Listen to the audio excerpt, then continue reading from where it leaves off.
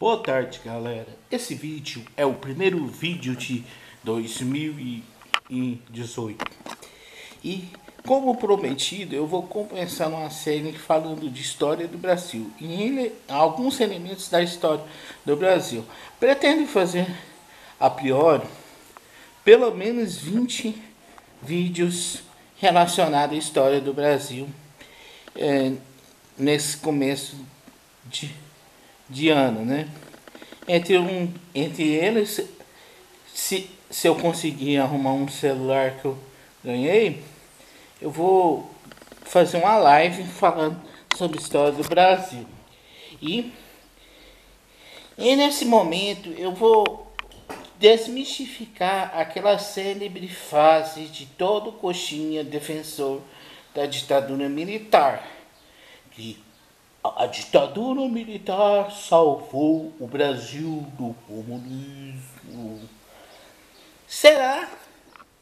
Para analisar esse período da nossa história, devemos lembrar que João Goulart foi vice do então candidato Jânio Quadros, o homem que aparecia com a vassoura e um terno cheio de carrapicho e dizia que iria varrer o Brasil da corrupção.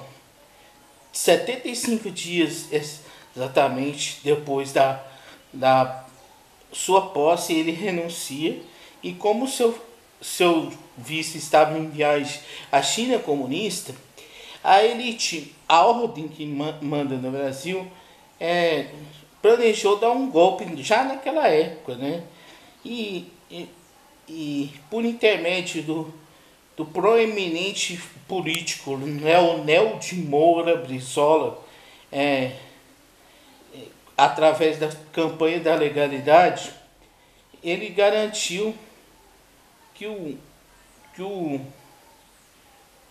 João Goulart assumisse. Mas no período em questão, eles permitiram que o João Goulart assumisse o poder.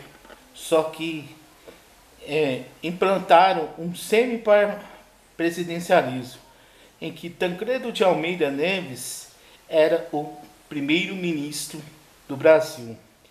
Esse regime não, parlamentarista brasileiro não deu certo e logo depois, é, através desse, dos processos de, de, campanha da legalidade, essas coisas, é, foi o ministro, o ministro o gabinete ministerial se demitiu em massa, né? E todo o poder voltou para as mãos de João Goulart.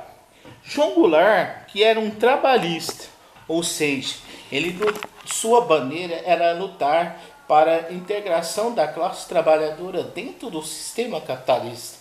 É, até porque é impossível pensar alguém seriamente dizer que um cara que era latifundiário queria a implantação do comunismo.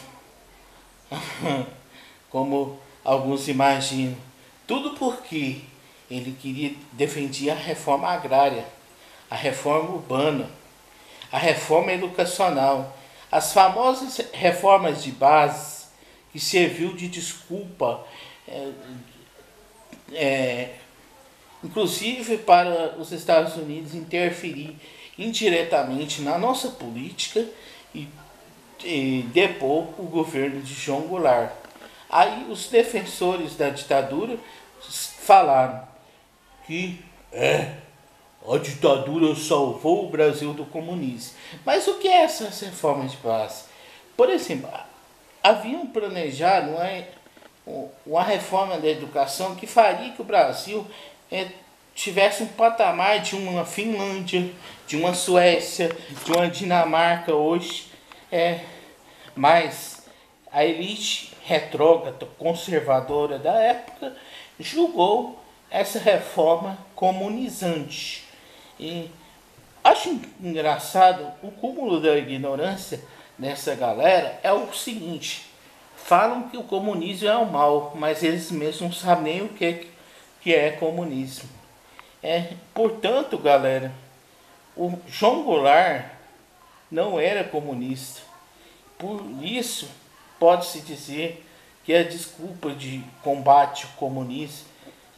É, e outra coisa também, você vai, mesmo que fosse, você vai combater um radicalismo implantando outro. E outra coisa também, ser comunista é defender que os trabalhadores tomem o poder global e, e, e passem a governar de fato o mundo, dividindo as riquezas conforme a necessidade. E isso não tem nada de oh, que extraordinário. É, pode, pode vir a dar certo daqui a mil, duzentos, mil, trezentos mil anos, sim, tudo é possível.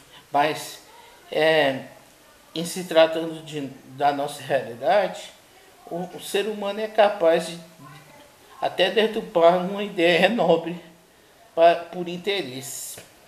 É isso, galera. Espero que todos gostem. Dê joinha, dê joinha, comente aí e falou!